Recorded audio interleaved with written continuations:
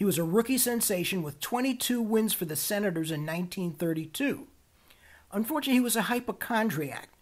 Forced him to, he forced, I can't get over this, he forced himself to eat all vegetable diet. Spinach, peas, carrots made him so gaunt he dropped his weight from 170 to 146 pounds. I'd say that hurt his career. He joined the Air Force after Pearl Harbor was commissioned a second lieutenant, and he managed the 8th Air Force baseball team during the war.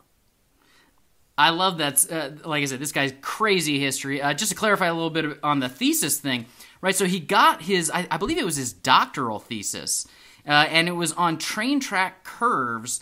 And sports writers would constantly try to get him to admit that it was really about a curveball, uh, but he was always just reading. He's telling them that he they were just reading too much into uh, what he had written his thesis about. But he had a hell of a curveball.